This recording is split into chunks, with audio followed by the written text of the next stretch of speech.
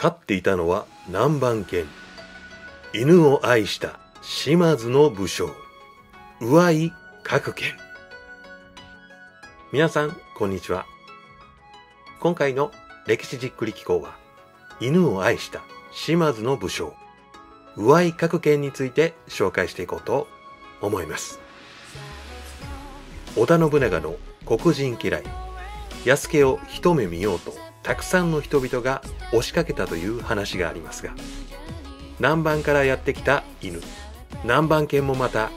当時の人々の興味を引いたようですよ。島津の家臣上井角犬が飼っていた南蛮犬には豊臣政権まで興味を持ったとか。さて上井角犬って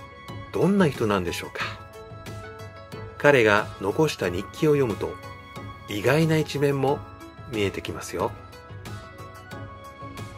島津氏に仕える。天文14年1545年。各県は大隅の国。鹿児島県東部の宇井領主の家に誕生しました。父と共に島津隆久に仕えやがて島津義久ら島津四兄弟にも仕えていくこととなります。永禄2年1559年に元服するとその2年後には初陣を飾りました。島津と結んだり離れたりを繰り返していた肝付兼次との戦いでしたがかなりの激戦で高久の弟が討ち死にするほどの厳しい戦だったそうです。そんな中での初陣でしたから各県にとっても大きな影響があったことと思います。以後彼は島津氏の九州における快進撃に貢献していくこととなりました。義久の側近として活躍。高久が亡くなり義久が家督を継いでからは義久の僧者となり側近として仕えるようになります。僧者とは主君と家臣などとの取り次ぎ役のことでとても重要な役割でした。そして天正4年1576年には32歳にして老中の一人に抜擢されています。彼の能力が優れていたことを示す事実で戦時だけでなく政治にも才能があり義久から信頼されていたんでしょうね。もちろん各県は数々の戦にも参戦しています。隣国の伊東市に奪われていた城を奪還する戦や大友氏との耳川の戦いにも参加し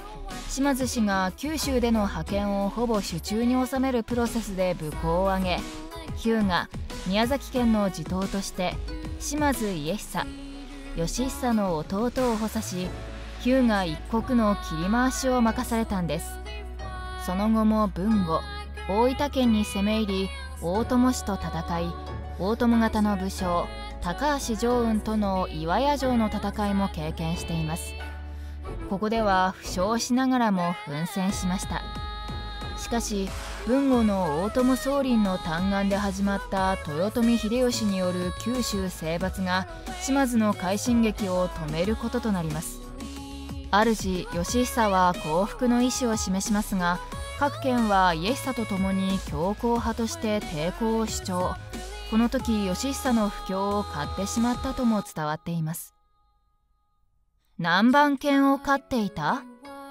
ところで各県は珍しい犬を飼っていたといいます。九州征伐が始まる前有馬晴信から南蛮犬を贈られたという話があるんですよ。南蛮という呼び名の通り洋犬だったと考えられます。有馬晴信はキリシタン大名でしたから宣教師たちが持ち込んだのかもしれません。どんな犬だったのかは詳細が伝わっていないんですが宣教師たちの出身国であるポルトガルやスペイン原産の犬ではないかという話もありますよ。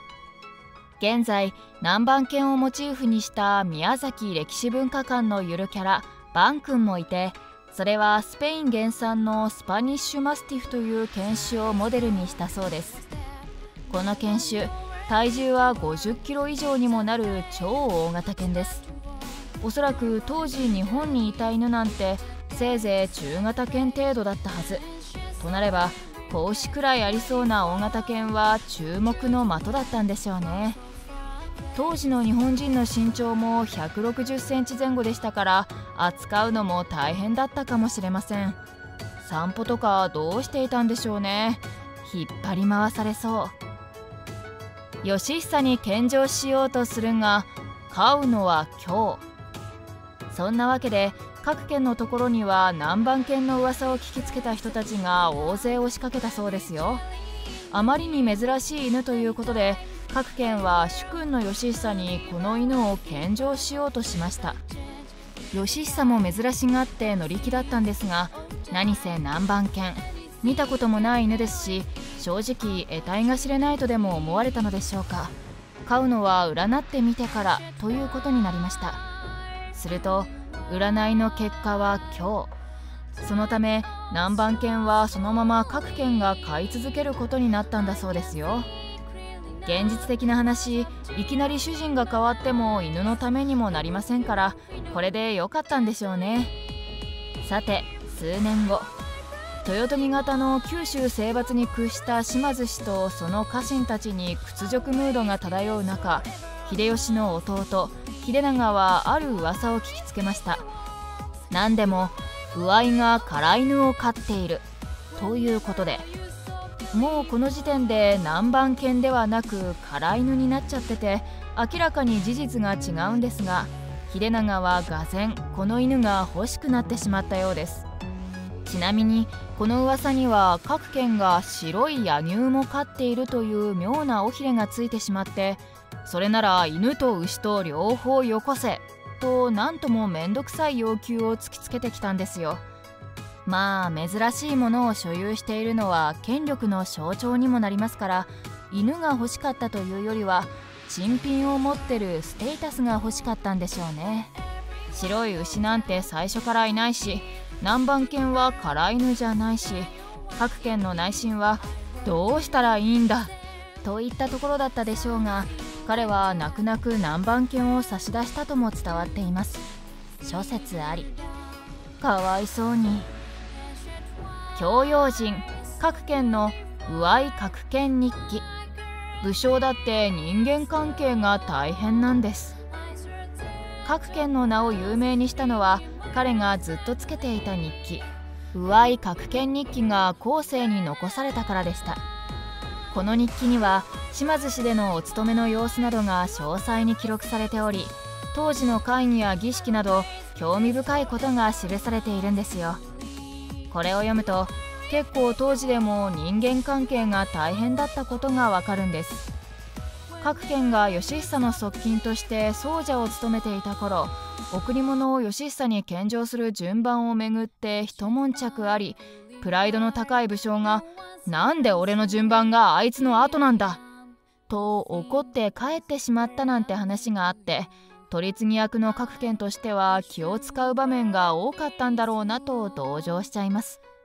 また島津の一族が謀反を企んでいるという噂が持ち上がったりだとかもっといい領地に変えてくださいと言ってくる人をしょっちゅう相手にしたりだとか島津の中でも結構いろんな問題があったことが分かりますよ各県自身が失敗を綴っているところもありどこかからの死者を独断で返してしまって上司に「そんなやり方は言語道断!」と怒られたなんてことも書かれています